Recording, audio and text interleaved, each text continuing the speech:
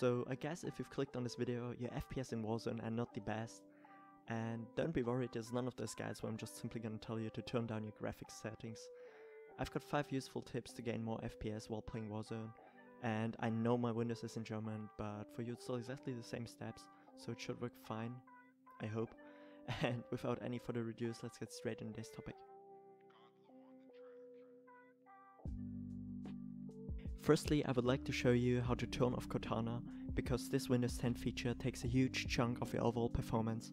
and disabling Cortana will free up some of the system power, which could be used to gain more FPS while gaming, so simply just do exactly the same steps as shown in the footage and you're good to go.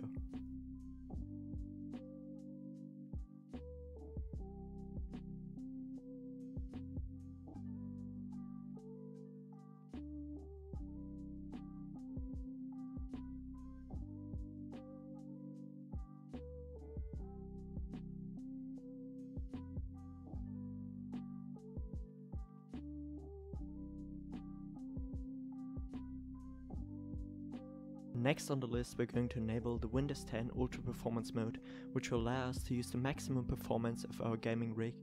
and to get the maximum amount of frames possible it's super easy just copy the command line in the description into your administration console which is called CMD and select the ultimate performance mode in your energy slash power settings and basically you're done.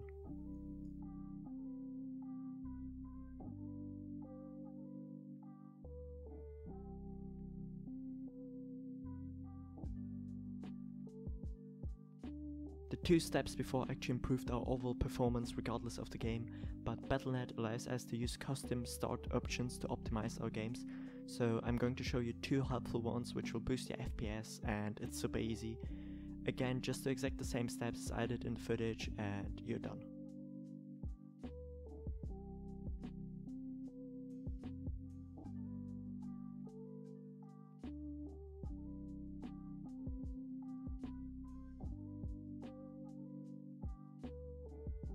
The next step now is also super easy guys, simply open your Warzone folder where you've got your game installed on your storage disk and right click on the main Warzone exe, which is usually the bigger one, and click on properties and then compatibility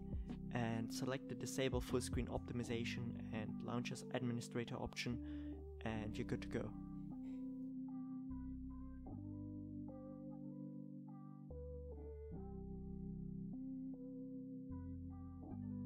The last point would be to disable the Windows 10 capture feature, since it's just not necessarily like the Nvidia highlights feature, it takes a huge chunk of your system performance, even if you don't use it, just because it's actively running in the background.